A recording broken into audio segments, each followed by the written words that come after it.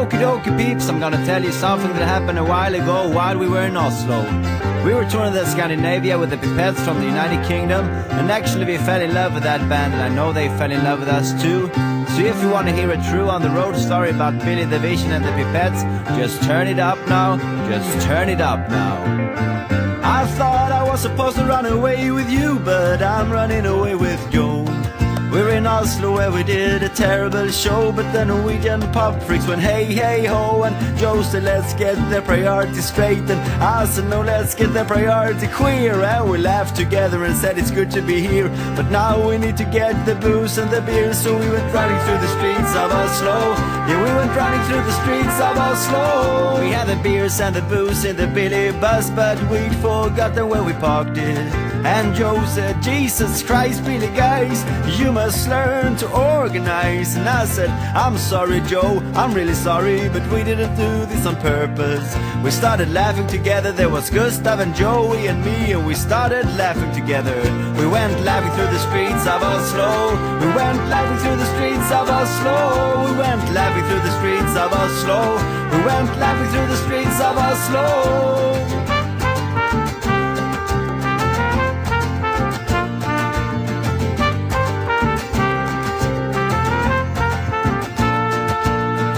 Was so full of sweat, I was thinking, and I was thinking I don't even feel like drinking. And as we searched through the biggest car park in Norway, Gustav lit up and pointed his finger and said, You are George, I am Kramer, and you are Elaine.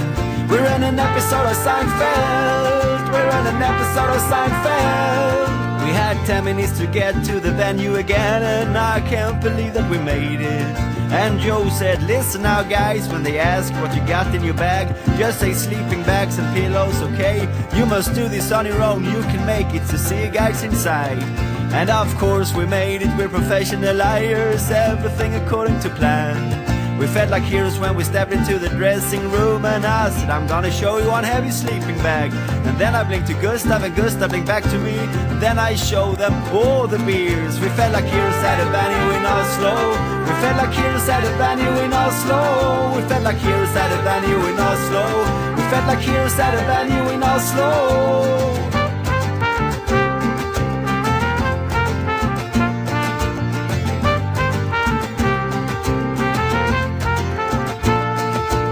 Becky and Mia and Rose and Sebastian and John, Gwen and Lisa, Mono, Fia and Bobby and Andy said, That's nice guys, but we need to go to sleep, so see you guys tomorrow.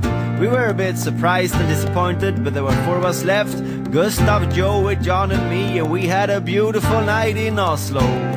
We had a beautiful night in Oslo. We got drunk at a venue in Oslo. We stayed up late at a venue in Oslo. We had a beautiful night in Oslo. We had a beautiful night in Oslo. We got drunk at a venue in Oslo. Stayed up late at a venue in Oslo. We had a beautiful night in Oslo. We had a beautiful night in Oslo.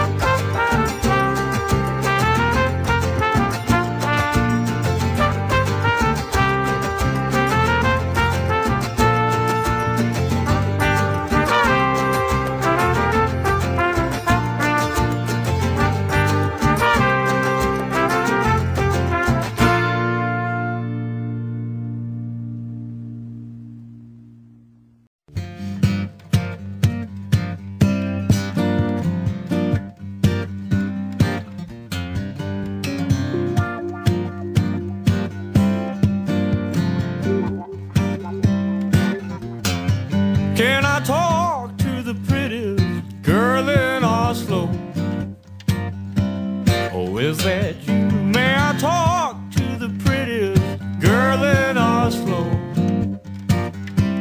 Oh, is that you? I call you every day, once or twice. You don't say much, but you're very nice, and I'm doing fine. Won't you meet me by the station? after nine, I'm doing fine.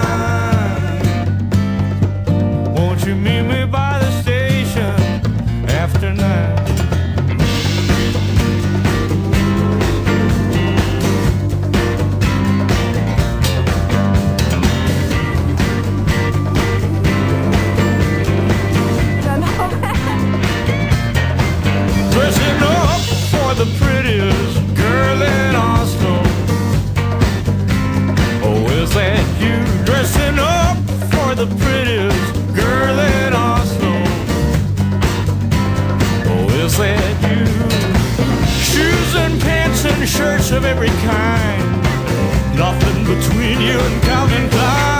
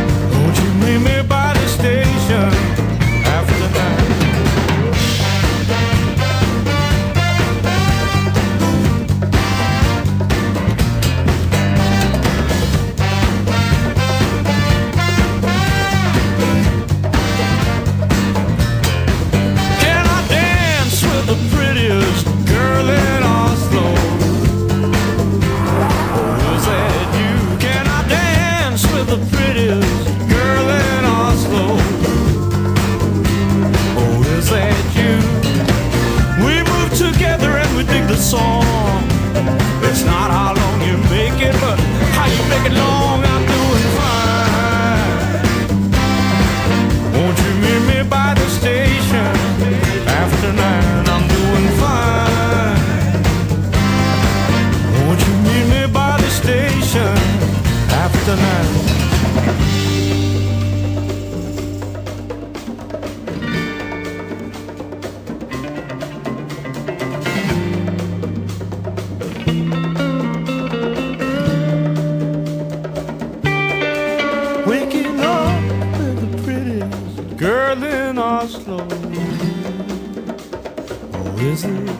Waking up with the prettiest girl in Oslo. Is it true? I get up early, bring you breakfast in bed. I kiss your shoulder and your sleepy head, and I'm doing fine. Won't you meet me by the station after nine? I'm doing fine. Won't you meet me by the station? Won't you meet me by the station?